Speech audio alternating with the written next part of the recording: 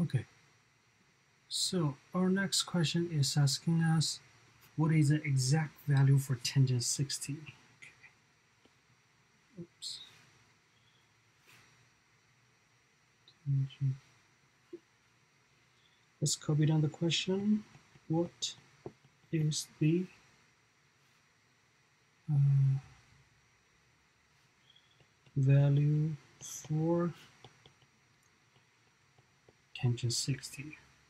Okay, since it's asking for tangent 60 and we know 60 is a special angle, so we can create a special triangle with one of its angle being 60 degrees. Okay, so that's 60 and that's a right triangle, so therefore the other angle will be 30.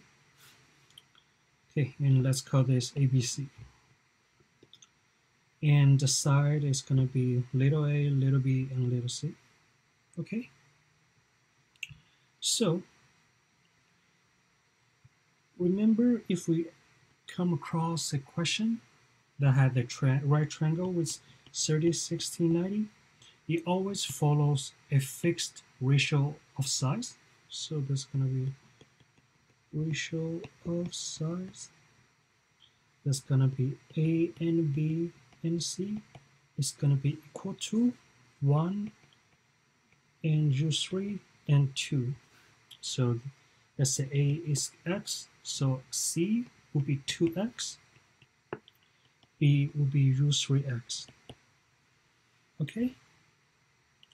So that's the first thing. And the second thing we need to know is whenever we talk about tangent theta, no matter what degrees is that, is always gonna be opposite over adjacent. Okay, so in our case, that will be tangent 60s. And we focus on the 60 degree angle, which is B in our case.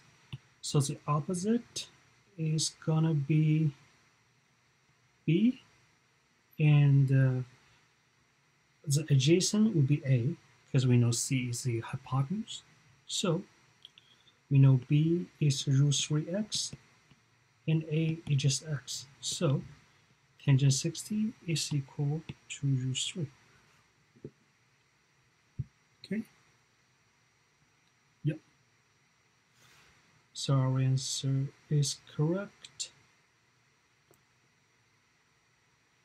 Mm, yep. Or if we look at uh, our junior tutor's answer, uh, he or she is approaching this question by using the uh, unit circle. Okay, and yeah, still tangent A is equal to y over x, where y is the um, y coordinate of the point, and x is the x coordinate of the point. So we just need to find 60 and then we use the y coordinate over uh, x coordinate. Uh, let me just copy that down. So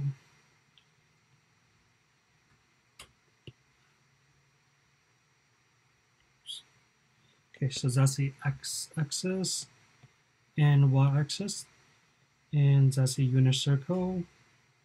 okay and we only need to find out the coordinate for 60 degrees okay so that's 60 and we know from the graph it is 1 over 2 and root 3 over 2 okay?